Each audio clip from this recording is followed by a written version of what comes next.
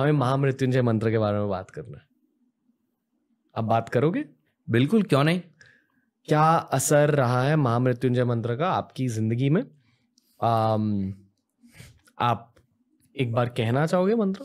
मैं एक message pass on भी करना चाहता हूँ लोगों को तो with this platform I can do that जब भी किसी की घर में हॉस्पिटल में कोई एक्सीडेंट हो गया लोग महामृत्युंजय मंत्र का जाप शुरू कर देते हैं, क्योंकि लोगों को लगता है कि ये एक हीलिंग मंत्र है। इससे कुछ अगर, लोगों को लगता है डेथ को कॉन्कर कर सकता है। महामृत्युंजय मंत्र का जाप करेंगे तो भगवान मृत्यु हमारी होने नहीं देंगे, बचा लेंगे हमें। रियलिटी ये नहीं है, महामृत्युंजय मंत्र आपके कर्म के लिए है।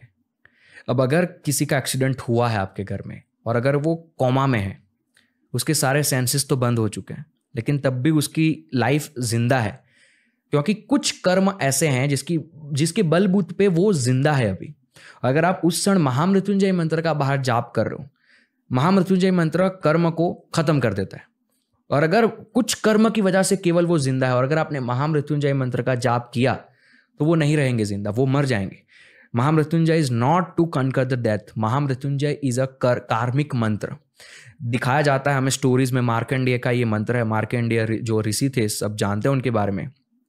उन्होंने इस मंत्र को इनिशिएट किया था, उनके द्वारा ये मंत्र आया था।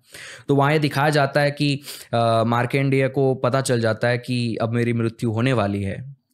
तो वो महादेव के पास बैठते हैं, शिवलिंग के पास बैठते हैं और महामृत्युंजय मंत्र का जाप शुरू कर देते हैं। फिर यमराज आता है उन्हें लेने के लिए। यमराज कहता है, तुम्हारा टाइम आ चुका है, चलो। तो वो शिवलिंग को हग कर लेते हैं कि मैं नहीं आऊँगा और महामृत्युंजय मंत्र का जाप करते रहते हैं।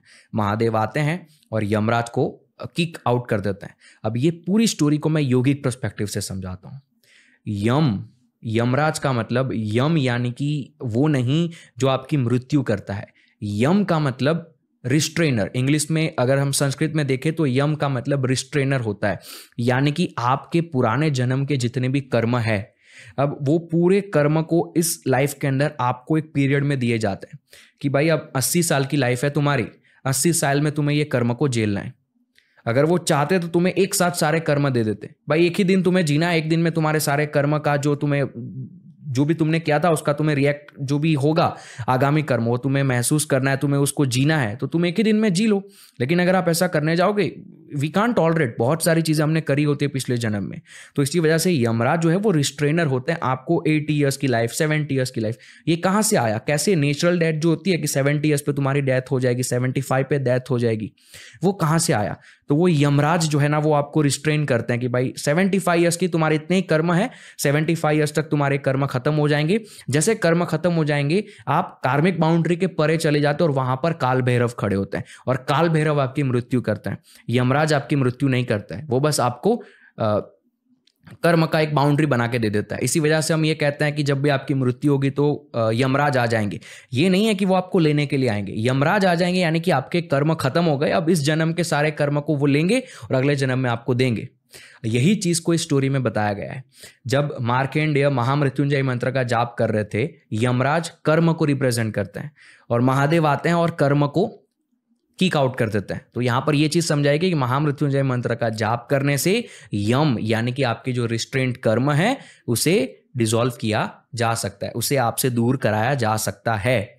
So that is the main thing आप मृत्यु से नहीं बचोगे, महामृत्युंजय मंत्र का जाप करने से आपकी मृत्यु ईजी हो जाती है।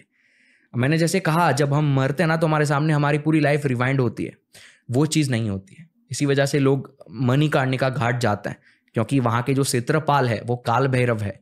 तो कहा जाता है कि जहाँ, वहाँ जाकर अगर किसी की मृत्यु होती है, लोग, मैंने देखा है मेरी आँखों के सामने मृत्यु होने के अब, लगा कि अब बूढ़े हो चुके हैं तो वो चले जाते हैं, काशी में रहने लगते हैं कि वहाँ उस धरती पर हम मरेंगे, कि काल भैरव की धरती है।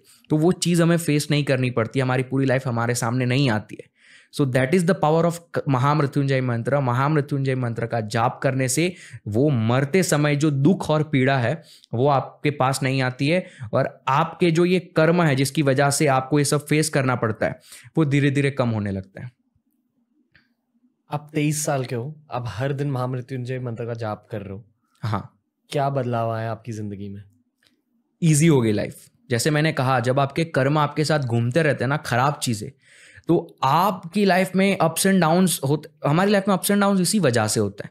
अब अच्छी ज़िंदगी चल रही है, अचानक से हम फिर से कुछ ऐसा हो जाता है कि बहुत सारी चीज़ें गलत होने लगती है कुछ कुछ लोग अमीर होंगे लेकिन तब भी डिप्रेस्ड हो जाएँगे। तो ये सब कुछ आपके कर्म की वजह से होता है। I am a firm believer of karma तो महामृत्युंजय मंत्र ने मेरी लाइफ को इतना ईजी बना दिया है कि मेरी लाइफ अब स्टेबल है। अब अगर कोई नेगेटिव चीज़ भी हो रही है तो वो मेरे कर्म की वजह से नहीं हो रही है। That just because of that moment जो मैंने एक्शन करी वो। उस समय ही मुझे मुझे पता है कि अब मुझे क्या करना है and I can like heal that at that moment तो वो ताकत मुझे मिलती है महामृत्युंजय मंत्र से। Okay. मैं मज़ाक नहीं कर रहा हूँ पर uh, जब मैंने इस मंत्र का जाप स्टार्ट किया अपनी लाइफ में हम्म। एक महीने के अंदर मेरा ब्रेकअप हो गया।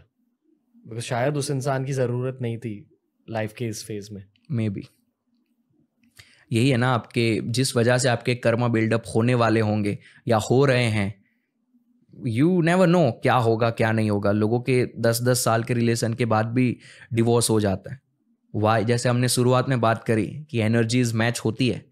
मे भी कुछ ऐसी चीज़ होने वाली होगी जिससे आपके कर्म ऐसे बिल्ड होंगे ऐसे बिल्ड होंगे कि आपका जो संचित वेयर हाउस है जो आपका वो भर जाएगा पूरा और अगले जन्म में आपको बड़ी पीड़ा होगी। तो वो चीज़ से आपको महामृत्युंजय मंत्र ने बचा लिया। तो दैट्स द पावर जो आपने फेस किया जो आपने फील किया।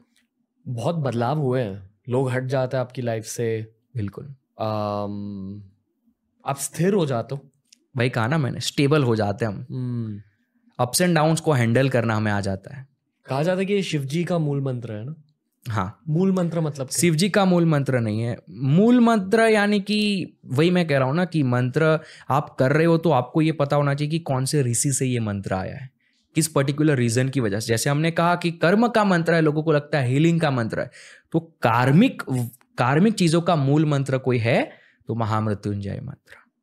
तो ऋषि देखने चाहिए हमें जो मंत्र होता है वो तामसिक गुण का है सात्विक गुण का है वो भी देखना चाहिए। लोगों की शादी नहीं हो रही है तो वो एक राजसिक प्रॉब्लम है और उसको सॉल्व करने के लिए लोग तामसिक मंत्र का यूज़ करेंगे कभी काम नहीं करेगा।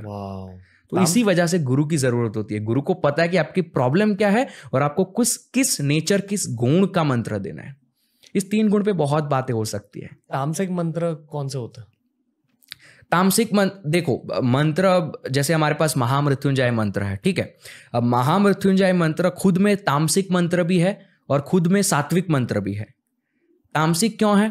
क्योंकि वो आपके जो कर्म है, खराब कर्म, उसको हटाने का काम करता है। तो उसमें तामसिक गुण है। इस वजह से ये हार्ड काम वो कर पा रहा है। At the same time it is also sattvic mantra क्योंकि ये आपको स्टेबल कर रहा है। हम्म, ठीक है? तो इस प्रकार से तामसिक सात्विक राजसिक मंत्र होता है और वो वही प्रॉब्लम सॉल्व करता है जो गुण की प्रॉब्लम होती है। और राजसिक मंत्र का एक एग्ज़ाम्पल राजसिक मंत्र का मुझे जनरल मंत्र में से तो कोई आइडिया नहीं है लेकिन कुछ कुछ ऐसे बीज मंत्र है जो राजसिक है। जैसे अगर हम बात करें हमारे चक्रों की बात करते तो चक्रों में अगर हम मूलाधार और स्वादिष्ठाना की बात करेंगे तो उसके जो बीज मंत्र है वो तामसिक है। उसके ऊपर के जो है दैट इज़ ये love power and compassion Ajna Vishuddhi और अनहत। दिस थ्री ये है हमारी रजना का जो है वो सात्विक है विशुद्धि और ये जो अनहता का है ये राजसिक है। तो this way you can define लेकिन जो बड़े बड़े मंत्र है वो गुरु के बिना डिफाइन कोई नहीं कर पाएगा कि कौन से गुण के मंत्र है।